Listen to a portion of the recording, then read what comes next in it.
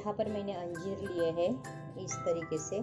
जिसे मैंने कैंची से काट कर छोटे छोटे पीसेस में कट कर लिए हैं। ये 80 ग्राम है। इसे हम मिक्सी जार में डालेंगे।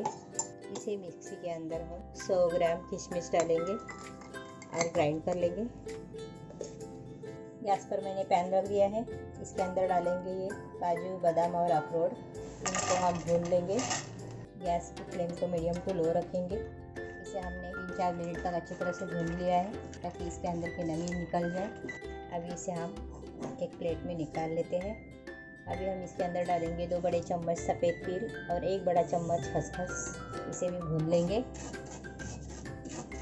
ये भी चटकने लगे हैं तो अभी इसे भी हम निकाल देंगे। गैस पर पैन रख दिया है। इसमें डालेंगे एक बड़ा चम्मच देसी घी। घी अच्छी तरह से गर्म होने के बाद हम इसके अंदर डालेंगे ये पिसा हुआ अंजीर और किशमिश। इसे भी अच्छी तरह से घी के अंदर मिक्स करके भून देंगे। मैंने इसे दो तीन मिनट तक अच्छी तरह से पका लिया है धीमी आँच पर। बहुत ही अच्छी तरह से स्टिकी हुआ है। मैंने इसे धीमी आँच पर पका लिया है दो तीन मिनट तक। अभी हम इसके अंदर डालेंगे इलायची पाउडर। मिक्स कर देंगे और इसी के अंदर ये भुने हुए ड्राई फ्रूट खसखस और सफ़ेद तिल भी डाल देंगे। इसे भी मिक्स कर देंगे। बहुत ही अच्छी खुशबू आ रही है। गैस की फ्लेम को ऑफ़ कर देंगे और इसके अंदर एक चम्मच हम शहद डालेंगे, यानी कि हनी पैन गरम है तो इसके अंदर ये अच्छी तरह से मिक्स हो जाएगा।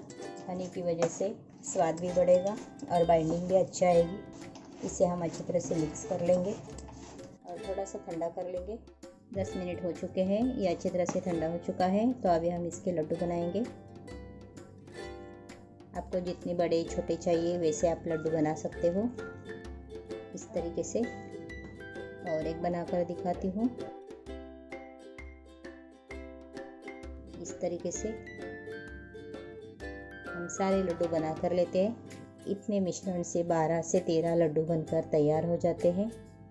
इसे आप किसी एयरटाइट कंटेनर में भर कर चार से पाँच हफ़्ते तक आराम से खा सकते हो। तो इस तरीके से ये हमारे अंजीर के लड्डू बनकर तैयार है। इसे आप ज़रूर ट्राई करें।